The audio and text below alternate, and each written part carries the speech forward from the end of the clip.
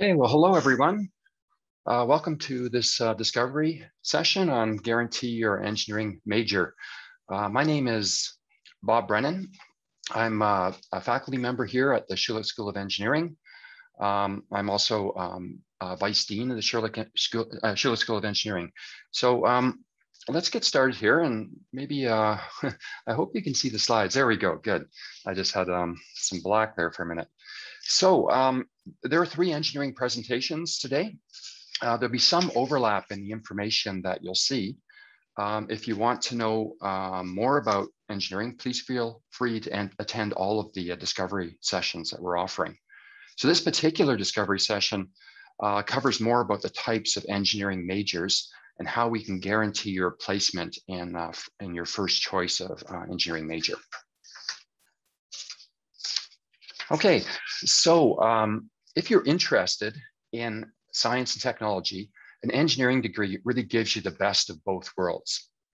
Engineering combines both the natural sciences, uh, so in other words, understanding the nature of the world around us, and the engineering sciences. So in other words, un understanding how to apply science uh, to solve, and, and, mathematics to solve problems. As well, our programs provide uh, substantial training and practice in engineering design.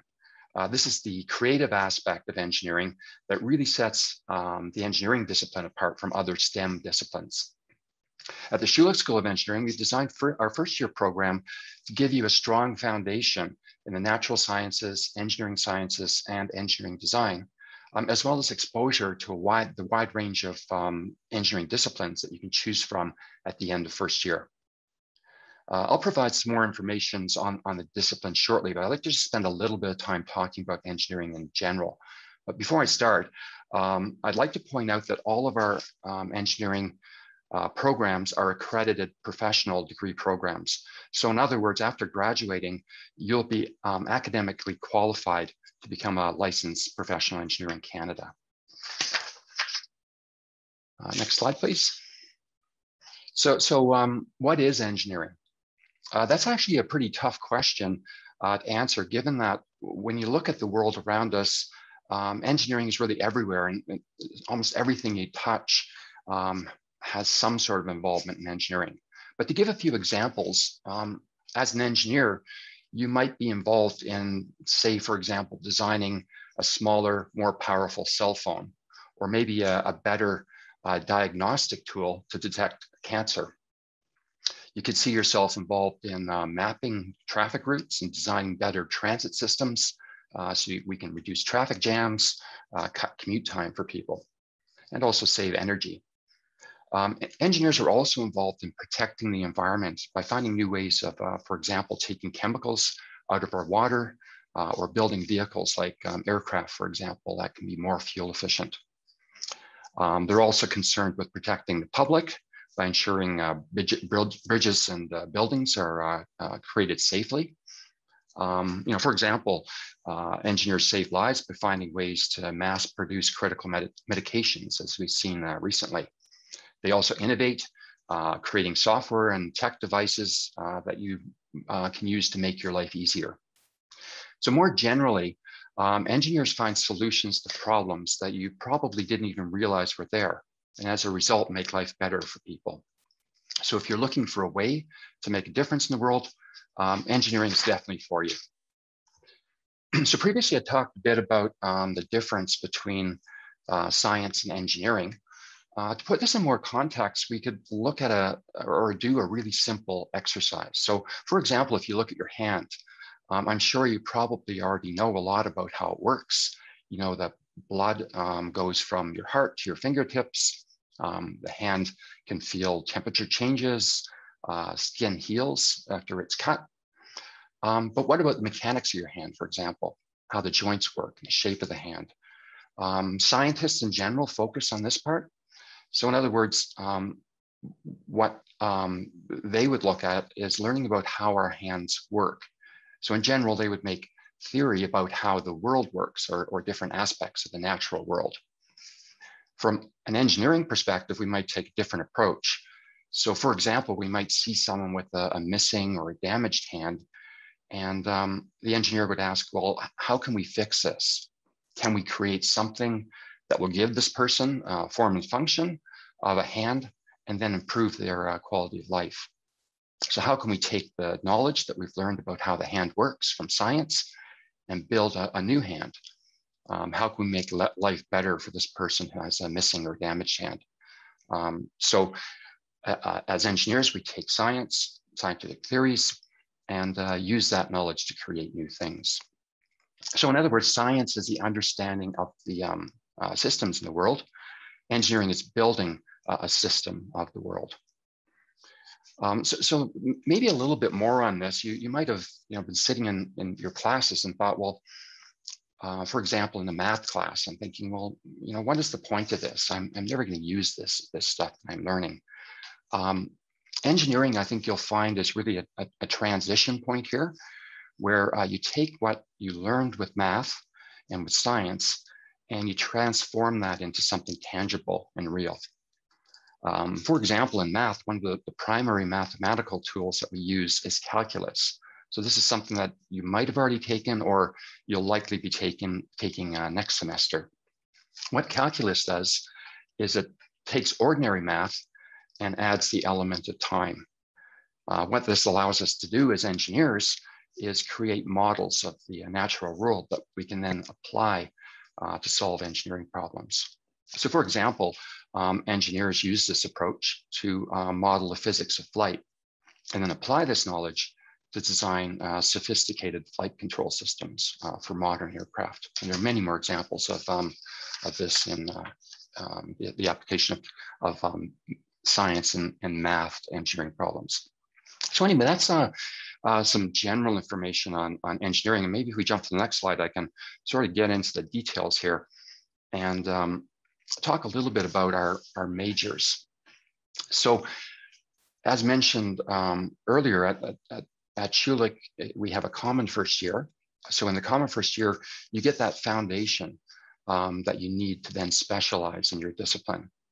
And this ensures that you have this uh, foundation in the disciplines, but also gives you a picture of how they fit together. And maybe more importantly uh, for you, uh, gives you the knowledge to hopefully make uh, a really good choice about where you want to specialize uh, for the last three or, or, or, four years of your uh, engineering degree. So these are the programs that um, we currently offer at the Schulich School of Engineering. Um, and I'll just go through each of, each of them in a little bit of um, uh, maybe not a lot of detail, but just a, a, kind of a high level picture of what each is. So the first one here, uh, biomedical engineering, it's a new program that we have. Um, biomedical engineering is um, uh, really an intersection of medicine, engineering science, and other disciplines uh, used to solve uh, health challenges. It's, it's really more than applying engineering to living organisms. Uh, biomedical engineering includes new solutions to health challenges.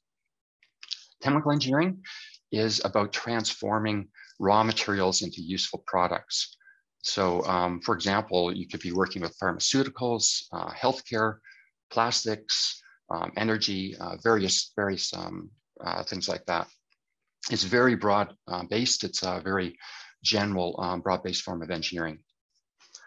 Civil engineering is about helping the environment and building um, safe communities. So things like transit, uh, bridges, uh, buildings, water systems, et cetera. That, that would fall under civil engineering. Uh, electrical engineering next um, is about creating new technologies through the manipulation of electricity or finding ways to better um, harness sustainable energy systems. You might not have heard of geomatics engineering. This is one of the uh, uh, fastest uh, growing um, information sciences that we have. So if you think about GPS systems, uh, global positioning systems that we have in our phones and our um, our different devices in our cars, et cetera. Um, that's geomatics engineering. So they look at the design of those systems, managing big data, uh, the Internet of Things, and, and more. Um, we, we, have one of the, I think, probably the best geomatics programs in Canada here at the Schulich School of Engineering. Mechanical engineering is another uh, fairly broad uh, discipline uh, encompasses everything from robotics to artificial joints to designing uh, cutting edge vehicles. Uh, so if you like to design, make and build things, uh, mechanical engineering might just be the discipline for you. And finally, software engineering is another um, area that's actually in, in, fairly high demand right now. Um, so companies right now are looking for the tech talent um, everywhere for uh, people with um, knowledge of uh, computer programming and, and, software. So that's uh, an area where you can, pursue that. Um, lastly, that what you can also um, explore here at the Schulich School of Engineering is a dual degree program. So these engineering majors are the um, undergraduate degrees. So for example, you would graduate with a Bachelor of Science in Biomedical Engineering if you chose that. You could also choose to do a dual, dual degree. So for example, you could do a Bachelor of Science in Biomedical plus a, um, a business degree as well and, and graduate that way. And we've structured the curriculum to, to help you do that if you're interested in having that uh, broader um, experience. Okay, so let's jump forward to the next one and um, we'll talk about the minors. So these are the majors. And if we jump to the next slide, um, here we go, great. So we have a long list here of uh, minors. So you can, in second year or at the end of first year, you select a major program and that's your main discipline and that's what you, um, you get your engineering degree in. But you can also specialize in some other areas um, and, and have a minor degree that you take extra uh, courses during your, your major degree uh, to specialize in an area that you're interested in. So there's a big list of them here uh, that are open in uh, most programs, it uh, depends on what you're in, uh, whether you can select from all of these. Um, but just to give some example, uh, we have um, a biomedical engineering um, uh, minor. So if you're not planning to do the major program, you could still have a biomedical flavor to your degree. Um, energy and environment further down the list is another um, uh, one that's fairly broad that say you're doing mechanical engineering and you want to focus on um, um, sustainable environmental solutions, you can um, add that to your degree as well. We are launching uh, a couple um, new ones here. Uh, aerospace um, is listed as new. Um, I think we've already launched that one this year. So within mechanical, you could specialize in aerospace if that's something you're, you're really interested in. Uh, we also have a digital engineering uh, minor, which gives you that uh, software and uh, hardware um, digital flavor to your degree, um, artificial intelligence, big data, all that stuff that's really of um, great interest to companies now. We also have a new uh, mechatronics uh, minor as well. So that's kind of the um, intersection between mechanical engineering, electrical engineering, and software engineering. So think of things like um, uh, robotics and uh, unmanned uh, aerial vehicles and things like that. Those are all mechatronic devices. So there's a lot of these. I won't go into all the details of that. Um, if you're interested in, in, looking at these, we have lots of information on, on these minors um, at our website. So just go to schulich.ucalgary.ca and you can see how, um, how that works. So at this point, I'm going to turn it over to um, Dr. Kim Johnson. Um, she's our uh, Associate Dean Teaching and Learning here at the Schulich School of Engineering, and likely someone you'd see in the classroom in your first year of engineering because she teaches first year and is one of our beloved first year teachers. So I'll turn it over to you, Kim. Okay, thank you, Dr. Brennan. Um, lovely to meet everybody. Um, yeah, again, I'm the Associate Dean Teaching and Learning. I'm the Associate Dean Student Professional Development. So I'm really involved in things that happen inside the classroom and things that happen outside the classroom. Um, so I'm here to talk a little bit again about our first year engineering. So we've had some questions around it. What we run at Schulich School of Engineering is a common core first year. So when you're admitted to engineering, all first year engineers are into the same common core. You actually select your major for second year. Um, that first year, we'll talk a little bit about what the courses are but it's it's really important to highlight the entire experience of that first year. There's a lot of opportunities inside the class. I'll talk about the courses and outside the classes. So we have a couple of spaces called the maker space and zeta. Um, when you actually get a tour around u calgary campus in the engineering building you'll see a handful of rooms that all of the walls are actually glass so you can look in and see them. We have 3d printers we have robotics to, to play with and build your own robots. We have a textiles makerspace. So people can actually design um, clothing and costumes for some engineering events. I know it's used for that.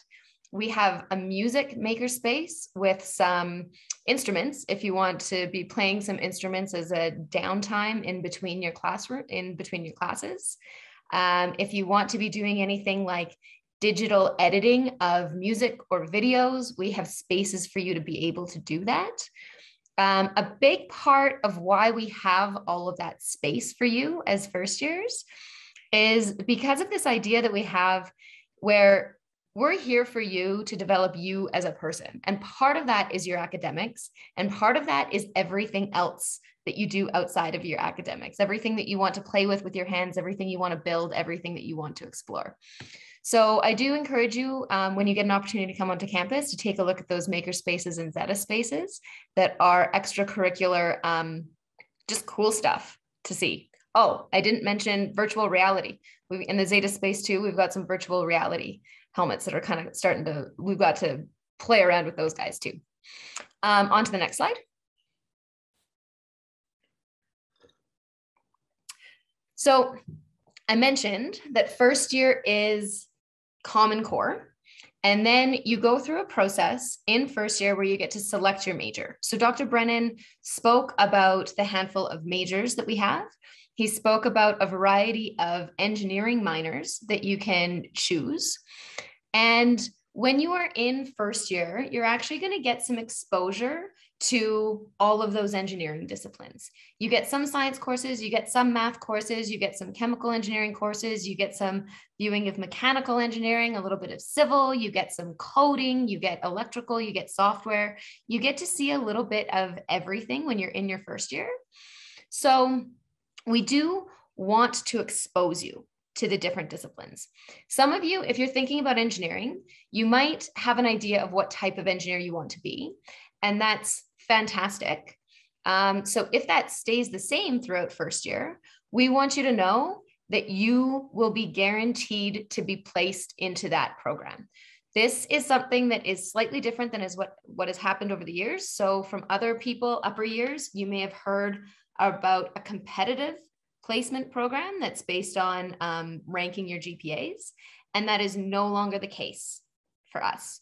So you now have a guaranteed program placement. We want each and every one of our first year students to be doing the type of engineering that they want to do.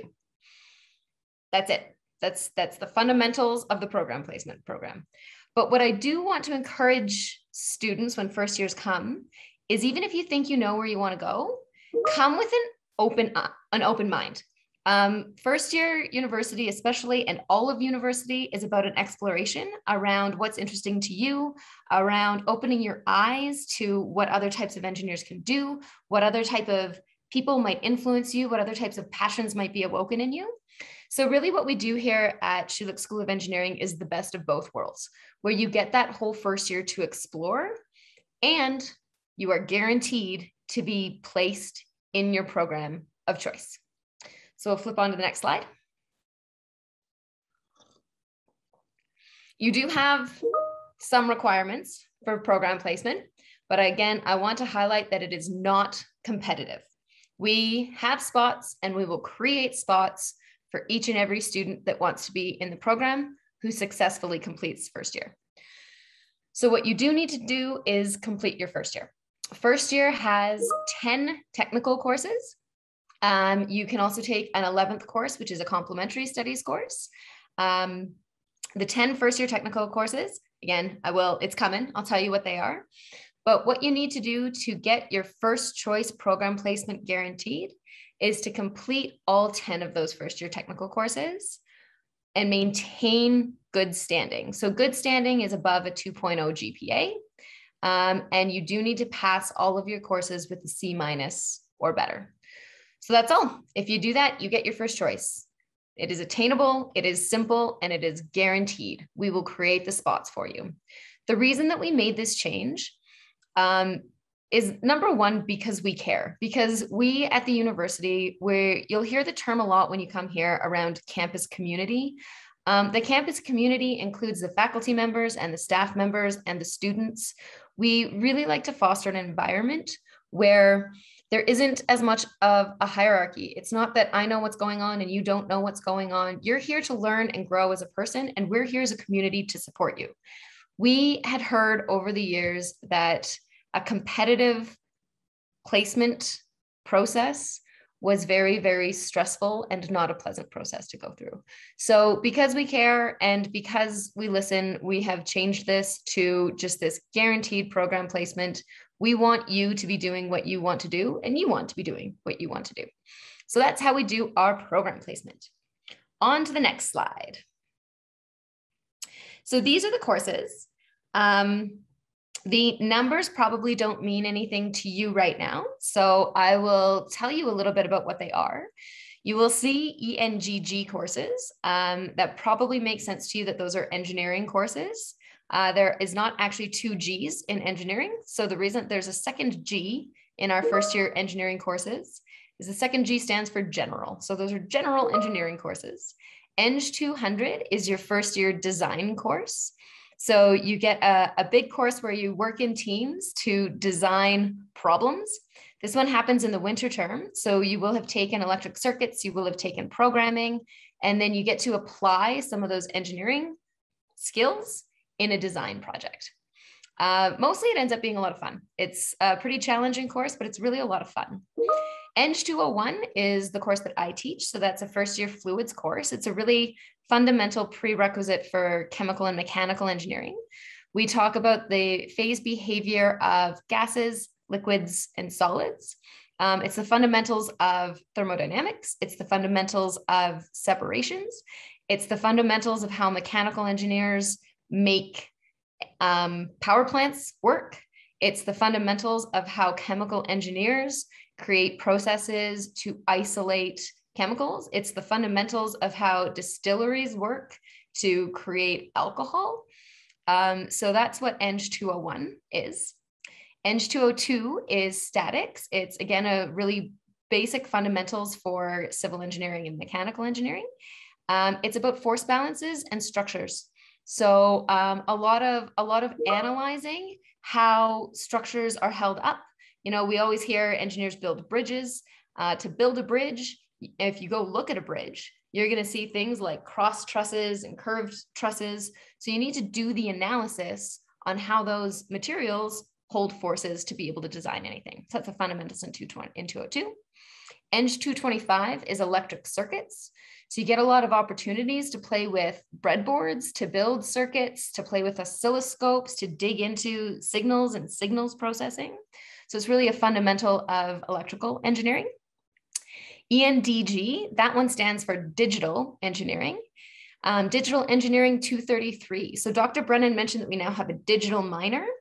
Um, as, as the world becomes increasingly digital, it doesn't matter what discipline of engineering you have. Um, we're all starting to get this feel like digital engineering is a key part of absolutely everything. So that may be coding, that may be some software development, um, this one is a first year course where you learn Python. So you learn a coding language, you learn some of the fundamentals of coding. So those are your five engineering first year courses. And then you've got um, a couple of math courses and a couple of physics courses. And if you are counting, you will notice that this list adds up to nine because we are actually missing a third math course in there. Math 211, you have uh, linear algebra. You have Math 275, which is Calculus 1. We actually also have a Math 277, which is Calculus 2. We're missing the second calculus course on there. Um, you've got a physics course and you've got a chemistry course. So that is your 10 technical courses in first year. Over to the next slide. So a little bit about how first year registration works we use a block system. So first year engineering is a fair number of people. Um, this year we're, working with about a thousand students, so that's a fair number of people. Um, registration, if you're in a different program, if you go to a program other than engineering, you get a bit more flexibility. But in engineering, we know what it is that you want to take. So we actually register you. Um, when you're admitted, you can uh, basically, when you accept your admittance or when you accept your letter of admission, we register you in the blocks. So you don't have to go through a lot of those hurdles, which is really quite nice. Um, how we deliver first year is based on actually pedagogy. Here's, here's a word, whether or not you're familiar with the word pedagogy, but pedagogy is the science of exploring how people learn. So there are people who do a lot of research into your brains specifically and how your brains are going to best learn the material. So we've designed first year around what people who study people have learned about how people's brains learn. Um, and so what we're doing is a blended learning, a combination of some virtual content and some in-person hands-on content. So some of the content goes online. Those are sort of your basic lecture videos, the material that you're going to want to look at once and then reference again later. Um, some people want to watch it slowly. Some people want to watch it quickly. Some people like learning in the evenings. Some people like learning in the mornings. So you've got your course material accessible for you whenever you want, however you want. And then when we're in person, um, you're in a cohort, in a learning cohort of about 100 students, um, meeting with your instructors in an experiential learning type of environment. So um, the, the actual in-person time includes things like classroom demos, um, hands-on labs where you're building things, working with teams on, on your projects, working on the hard problems. Um, so sort of getting some assistance working through the challenging problems that we typically see in first year. So your first year, again, a really big combination of um, virtual course material available all the time and meaningful hands-on experiential learning when you're in the classroom. Over to the next slide. Um, there's a lot of other things that happen in first year too. You are a variety. We've got 99 people in this room uh, and I can guarantee you that if I were to ask you what you like to do outside of engineering classes, I would get a lot of different answers. Some of you would actually be interested in the same thing, uh, which is really exciting. Uh, you might get to you might get to meet somebody else in engineering who's into the same sports that you're into, or who is into the same games that you're into, or is into the same types of music that you're into, who wants to wants to make films with you, wants to make clothing with you, wants to build robots with you, right? Everybody's got a different set of interests. And so, what we really like to do is foster that. We like to invite you in with all of your interests and passions. Um, therefore, what we have is some programming around how we actually support you and your differences. Um, one of these is the student athletics program. So if you are a student athlete, we can actually modify your programming for you in first year. Um, one of these is tutoring support. So everyone's brains work a little bit different.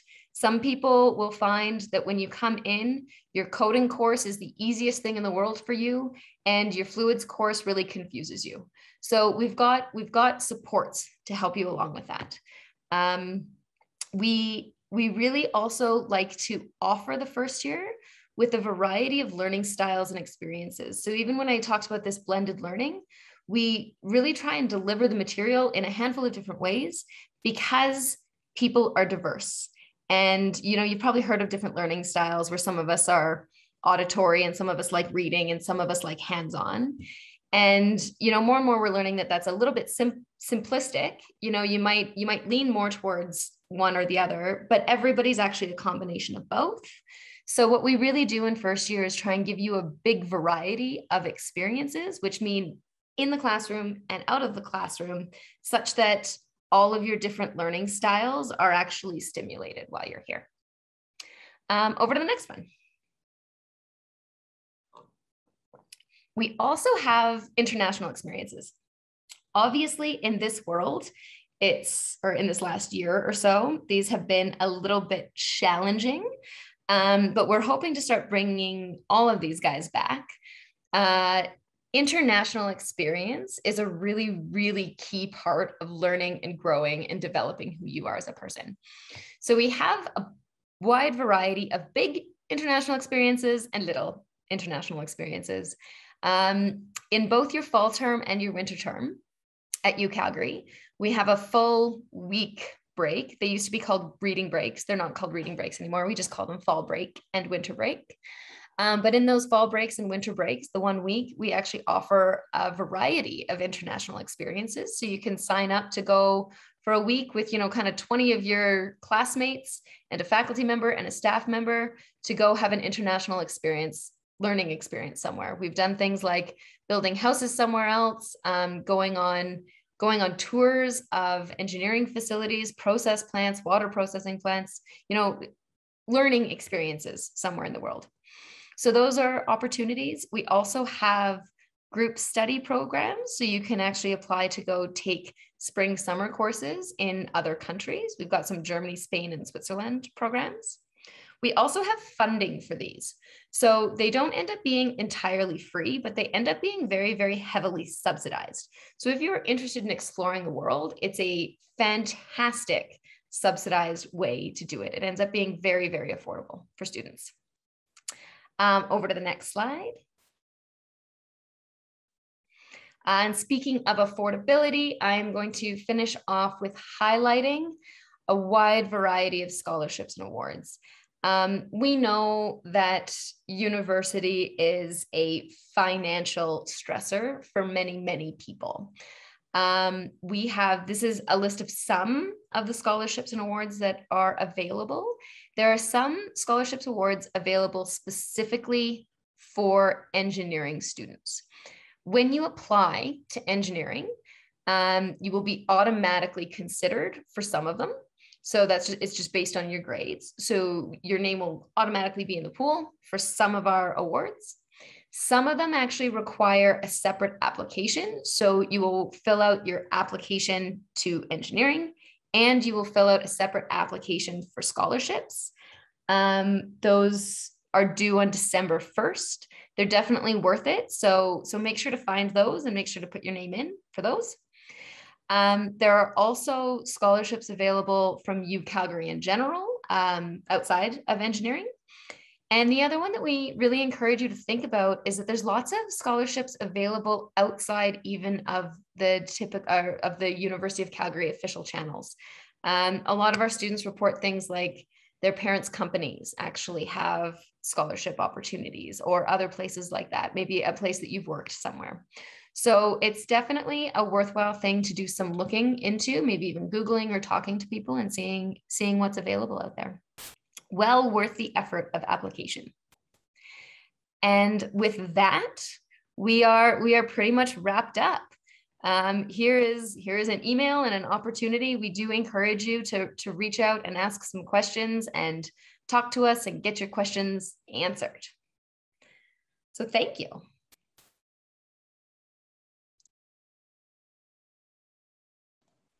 Thank you very much. I was uh, reviewing the chat and I believe this was a very wonderful and informative sessions and a lot of our questions were answered throughout the session.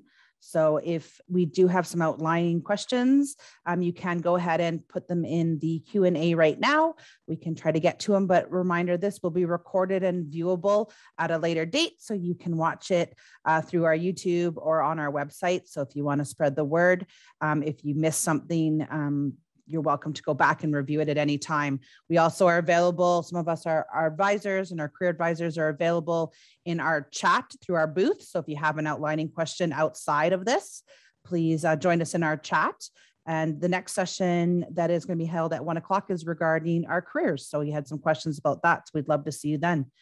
So I'm just watching the Q&A now to see if there's any unanswered questions and we'll just review it. Nothing was outstanding throughout the question. You guys answered everything um, that came in. So we'll just keep watching the Q&A here for a few minutes to see if there's anything outstanding. I might. I oh, sorry. Go ahead. Oh, oh sorry. Just, go ahead. sorry. There, there, are lots of questions about the minors, which is pretty cool that, that folks are interested.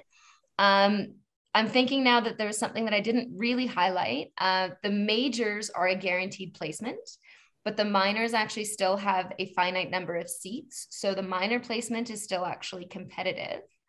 Um, the I saw that we had the question, does it extend your undergrad degree by one year? The minors don't, and it was it was answered. They don't actually add another year, but most of those minors add a couple of courses. So if you're going to take an engineering minor, you'll find that you're your workload is a little bit higher than what it would have been compared to some of your some of your classmates but they typically add two or three courses over the course of your degree so still doable but you've got a few more terms where you're going to have to be taking six courses instead of five and I think a thing to note as well is there is no minors in your first year. So this will be, you'll be offered the minor application when appropriate. Not all minors are a second year minor, some are third and fourth year minors. Um, I see a couple admissions questions, so I'll grab those right now. So um, high school admissions were we're recommending you go in the high 80s to the 90s. However, we always want you to take the opportunity to apply to us if you want engineering. So always apply if you wish. It is a competitive faculty. So it's hard for us to set that number because it just depends who you're working and competing with to get in to engineering. So just strive for as high as you can, as we'd love to see you all um, engineers come in.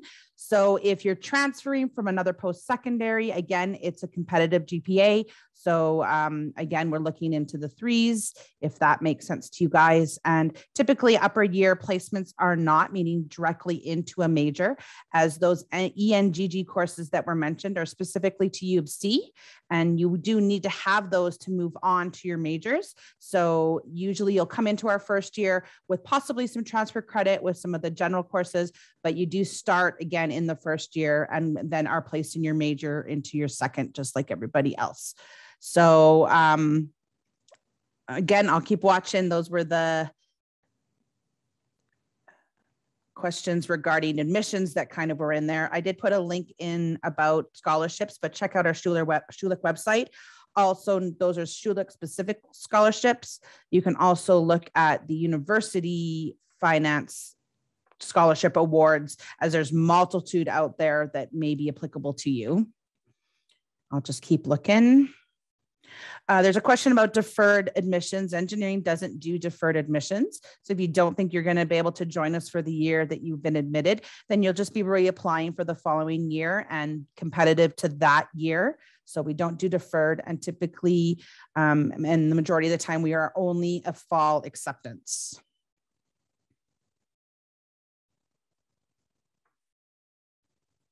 Calculus, again, a lot of admission questions, so I'll just do a keep going. Calculus uh, or Math 31 or equivalent is required unless it is not offered. If that is the case, admissions will review your file and give you the options available to you. So if you have any admissions questions, just note that we don't review transcripts at engineering. That goes to the admissions booth. So take a look at them um, and ask the questions for any type of admissions that you have.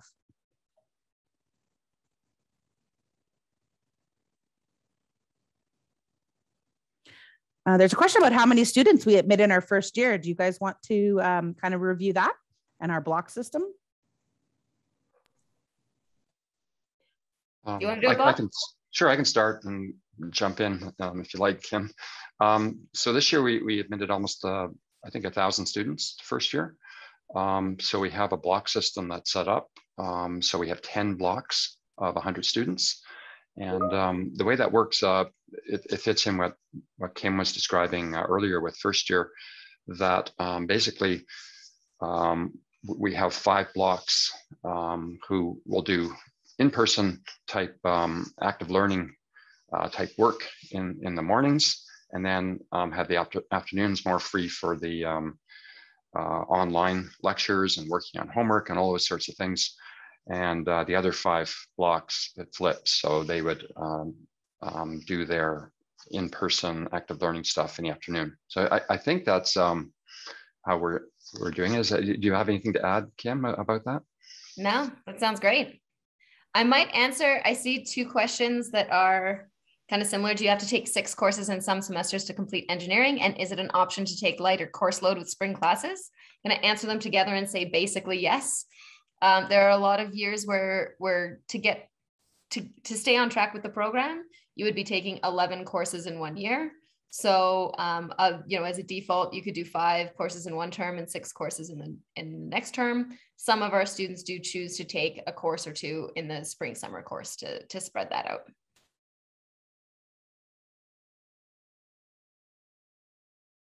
One thing, this might sound um, really simple, but it might be good to mention. Um, we, are talking about GPA, uh, grade point average. And I know when I started as an undergraduate, I didn't know exactly what the system was. So we talk about a 2.0 uh, GPA um, over 10 courses to have um, guaranteed placement. Um, that's really just based on the letter grades. So uh, for example, uh, a letter grade of A um, is a 4.0 and um, a C is a 2.0. So we, what we do is we look at um, all of your courses and basically calculate the GPA based on your letter grades. So if every single course you took, you get a C in those courses, you would get a 2.0 GPA. So I, I know that helps.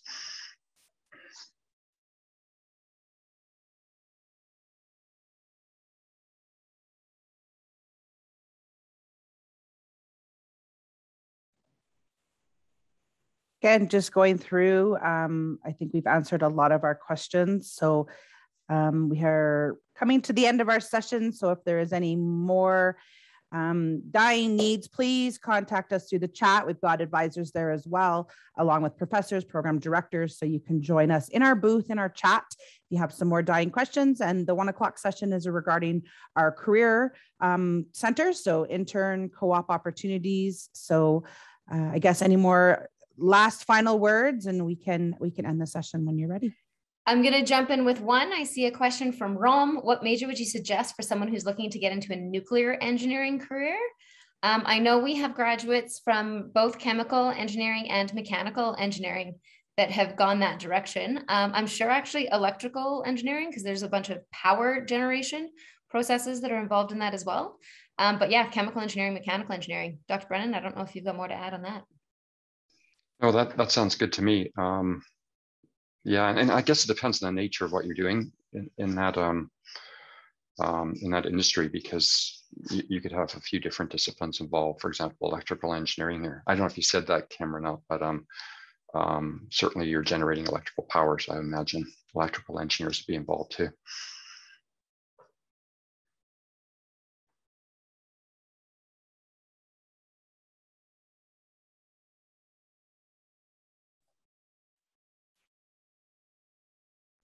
Ria's got a good question too. Do some courses come before others, Eng 200 before Eng 21, etc.? Yes, in first year, there are a couple that come in sequence. And so there are some courses in your fall term that you have to pass in order to take the course in your winter term. Um, some of those are, for instance, math. Uh, your you need your math calculus one before you go to your math calculus two.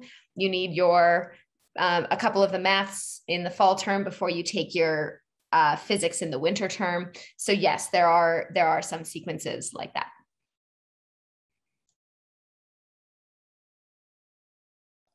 Okay, thank you very much. We're going to end this session. So thank you very much for your time. Any more questions, please join our chat or join our uh, one o'clock session on the career. Thank you very much, everybody. Have a wonderful day.